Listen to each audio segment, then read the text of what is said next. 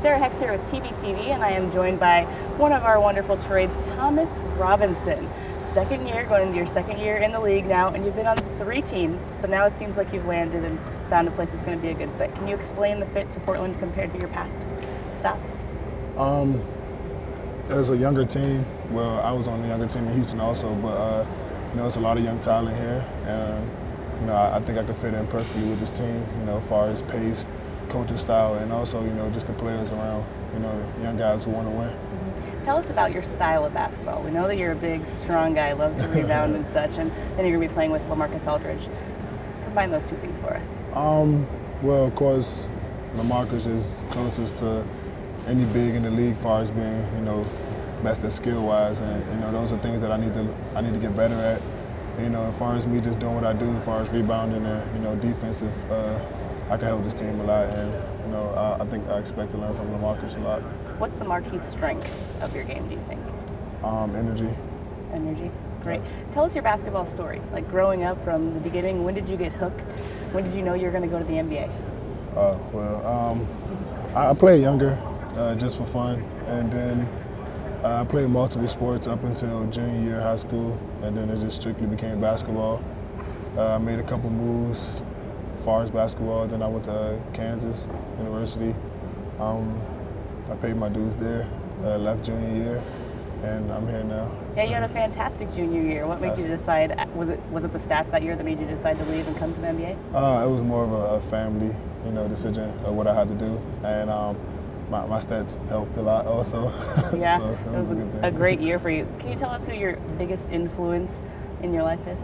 Uh, my sister. Your sister? Yeah. It's Jayla, right? Yes. And how old is she now? She's 10 now. She's 10, She's getting big. Um, growing up, who was your favorite basketball player? Growing up, my favorite basketball player. Or who do you now emulate your game after?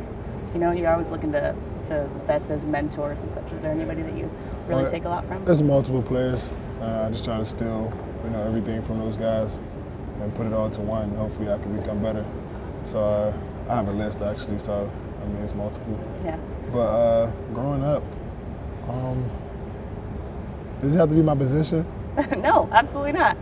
well, I love Kobe growing up, so I mean, that was just one of the things. Yeah, and then playing against him, what was that like the first time you take the floor going against a guy that you really like? I think Kobe's the only player that I probably got shell shocked looking this year. You know what I'm saying? Just because uh, it was Kobe was that player when I was younger, growing up. You know, kind of like how LeBron has the league now. Kobe was that player. Absolutely. Now let's go back to you coming to, to Portland. When you heard about the trade, what was your initial reaction? Um, honestly, I was I was upset. Yeah. Not about coming to Portland, mm-hmm. but upset of my situation and more just adding on top of the year that I had. Um, you know, I just I was angry, but I was excited just to get here. You know, to to start over.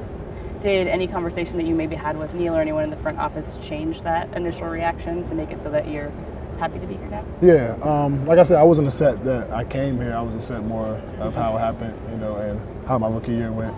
But um, you know, Neil pretty much just capitalized on what I I came to the conclusion to myself was that you know get back to the player that I am. Mm-hmm. You know? Do you feel like those moves give you kind of a chip on your shoulder, and then now going into summer league, gonna have a second chance to really show yourself and solidify a spot on on this roster? Yeah, exactly. Um, put a bigger chip on my shoulder.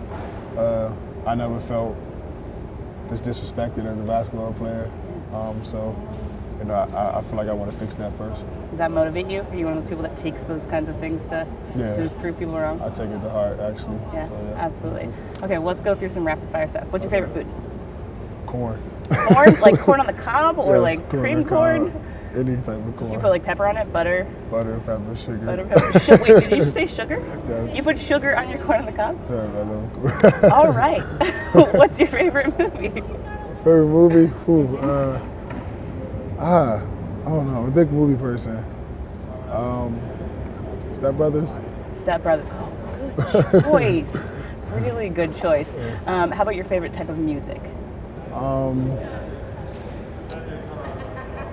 I would say rap, but I'm more versatile now, so it would be R&B and rap. What was the last concert that you went to? Last concert I went to was uh, BET Awards account. That's not a concert, right? Uh, it's kind of a concert, but not like a real concert. Okay, Drake was the last concert Drake. I went to. Everyone is saying that. Yeah. Everybody loves Drake. Okay, cool. And then uh, tell us one thing about you that no one else would know, whether it's funny or goofy, whatever. Um, let's see. I'm learning how to play the guitar, That is fantastic. Acoustic or electric? electric. Electric. There you go. Thank you all for joining us. Sarah Hecht for TBTV. I'm Thomas Robinson.